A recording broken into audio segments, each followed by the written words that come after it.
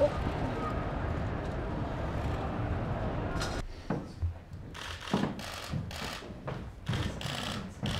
you.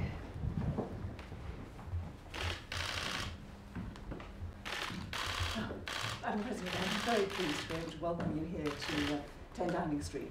Uh, and uh, we will have much to talk about. Uh, we have a very, already a good uh, bilateral relationship between the UK and Croatia, and I think there are areas in which I hope that we'll be able to develop that further on trade cooperation and uh, defence cooperation in the future particularly.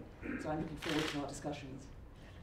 Thank you very much, Madam Prime Minister, for the warm welcome. It's wonderful to be here. I already had a really good visit with uh, Her Majesty, the Queen, and I hope that uh, with today's visit we'll start modernizing our relationship in uh, deepening and uh, widening our cooperation in many areas, including trade and investment. I look forward to that, I look forward to discussions. and I'm very pleased you were able to uh, meet Her Majesty. And it's wonderful to see you here as well. Thank you. Thank you very much. Thank you.